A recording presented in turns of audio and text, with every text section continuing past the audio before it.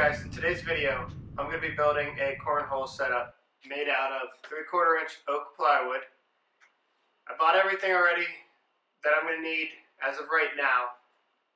Sitting right around $104 for full sheet of 3 quarter inch oak plywood from Home Depot. I have 4 bolts, half inch, the washer and a nut, and I have some edge banding since I'm using the plywood.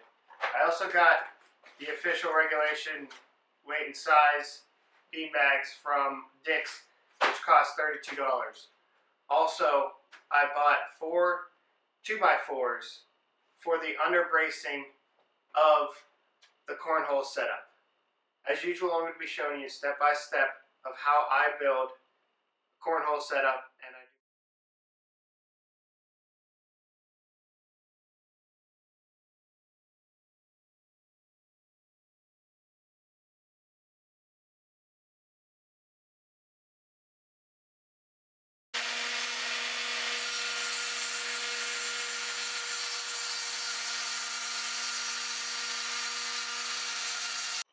Now that I have all the wood cut for the top and the sides cut down to 24 inches, and these are cut down to 3.5 inches, my next step is going to be putting on the edge banding on the top because this is upside down, so try to, to picture it. This is going to be the sides. The 2x4 is going to go directly behind here, so you won't see that. And the edge banding will go right along here and blend the wood in so it'll look like it's a solid piece of wood instead of oak plywood. In case you don't know what oak veneer is, all it is is a real thin piece of oak with an adhesive on the back. And what you do is you actually use an iron and you place this on the edge of the plywood and you will actually iron this on and once it dries you'll come back and trim it off with a sharp knife or a veneer trimmer. It's really simple and it makes your project look a whole lot nicer.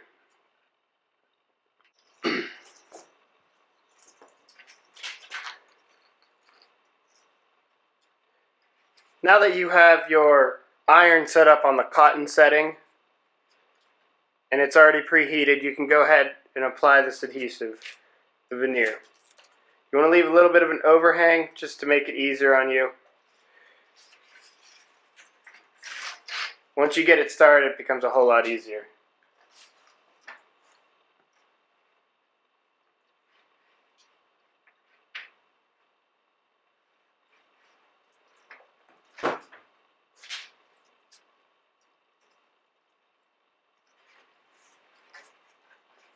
What I like to do is stretch it out for a little section. Give it a little bit of heat just to hold it in place so you're not fighting it. And you can come back forward and work the front section and then just keep going back and forth. Make sure it gets adequate heat, no steam, and it will actually hold itself down. Make, you also want to make sure that it's aligned on the sides.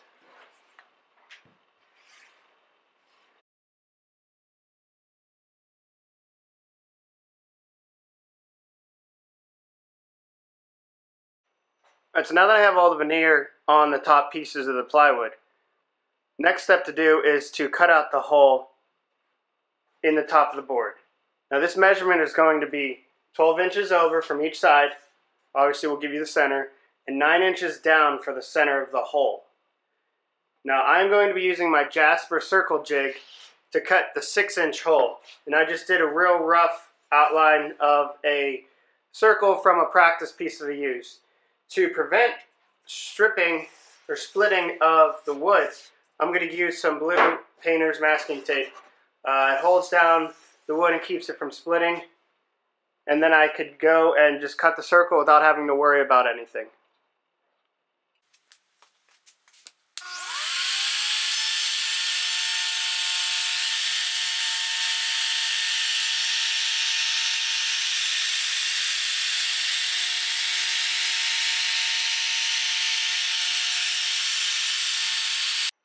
Alright, so I just finished cutting the hole. Now let's see how it actually came out.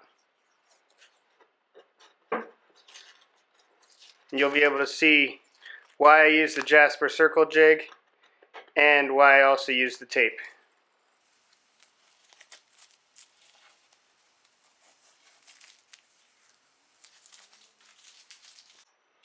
Just with a small amount of sanding, as you can see I can pretty much get that with my finger. All these little loose pieces will just come right off and it'll look perfect.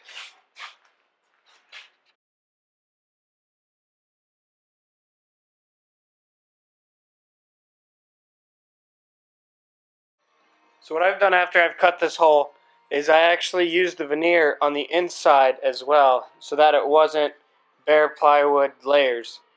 I ended up having to use a heat gun with a little angled bit on it to actually uh, apply the veneer because I couldn't get an iron in there with the curve. If you have something that'll actually curve with it and apply heat, that'll work great, but I just used an angled heat gun and it worked perfect.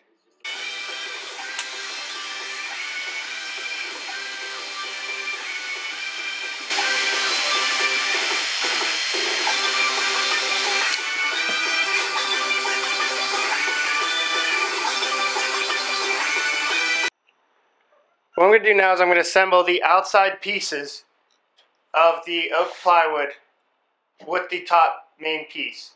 After that, I will actually build the subframe inside with the 2x4s for my legs and everything. So that, that way the exterior still holds that oak look, the wood look, but the inside still has the main bones of a cornhole set with the 2x4s and everything, you won't be seeing this nice wood on top and cheap $2 2x4s on the outside.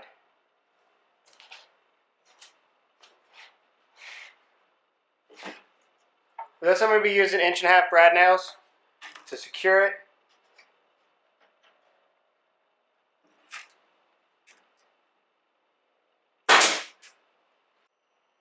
One thing that I did, which a lot of people will overlook or just choose not to do, is on the bottom, instead of having the plywood open end with all the different layers exposed, that even if I did finish it, could potentially not fully seal, be sitting on the ground. I actually put the veneer down here to help seal off the open end of the wood, and then this way when I actually finish it, I will have a good solid finish on here that will help resist if there's any water in the grass or water on the ground from absorbing up into the actual board itself. I've got the internal frame all mocked up with each piece just basically sitting in here. It's not screwed in. But what I'm doing right now is I am going to be working on the legs so I can figure out where I need to actually drill my hole over here to have the proper angle that I want for the legs. So what I've done was I've actually used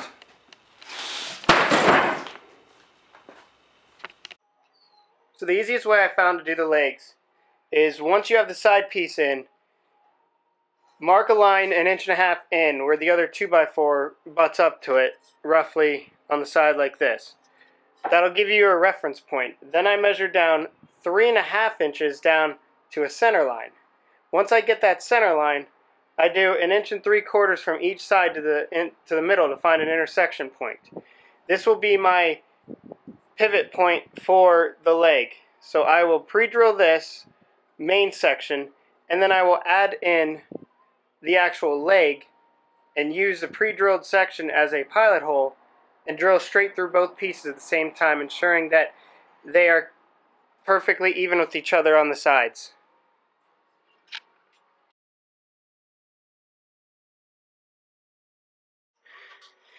In order to recess the bolt that I'm going to be using for the legs, I'm going to be using a 1 and 3 8 inch Forstner bit, which will also help give me a pilot hole for drilling the rest of the bolt through.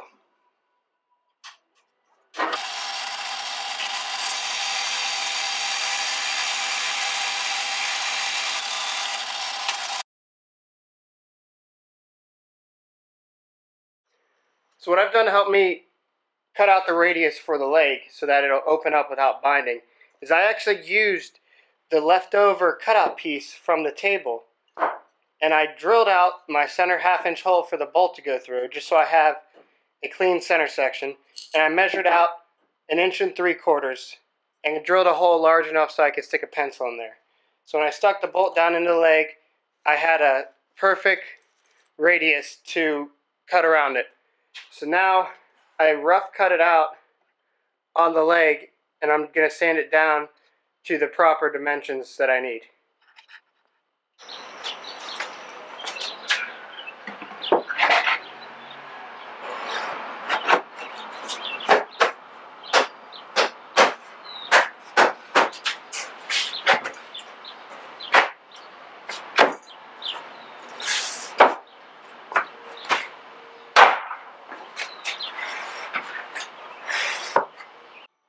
So after the frame is fully assembled and put back into place, what I did was I used a 1 8 inch drill bit and I pre-drilled about 10 holes going around the perimeter to not only hold the frame in, but also hold the side in in case it wants to, for some reason, come apart. What I'm using is 2 inch nails, which work perfectly to go through the 2x4 and then into the plywood, but not pop out the other side.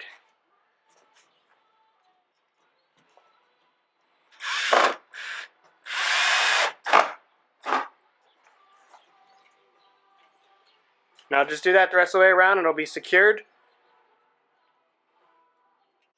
Now that you have everything assembled, it's time to cut the angles on your legs so that the top of the cornhole board is 12 inches. Now, the way that I do this, and it's the easiest for me, I had a piece of oak left over right here that I cut down to 11 and 1 quarter inch. And what that does is that gives me 12 inches at the top. But what I'm doing to verify that is I'm using half inch piece of wood.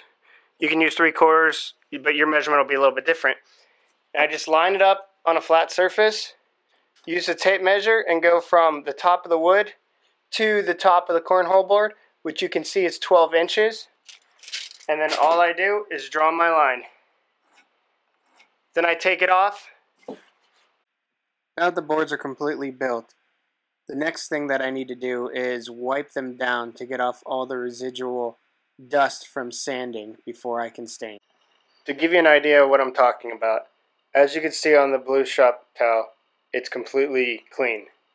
But when I wipe the board down just a little bit, you can see all the residue. You can even see where my fingers were at. So what you want to do is you want to keep wiping it down until you don't get any of this sanding residue. So after using a lot of rags, probably about seven or eight on all the sides, bundled up into fours, I've got the board all cleaned off. Now it's time to do the stain. I'm using a Sherwin-Williams stain. It's a fruitwood mix that I have.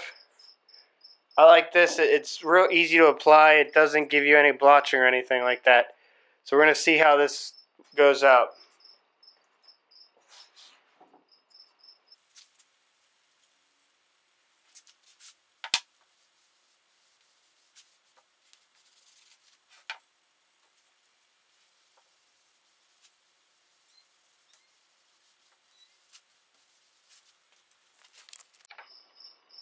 So I just finished up staining both cornhole boards, top and bottom. The only part on the bottom I got was the edges that we veneered.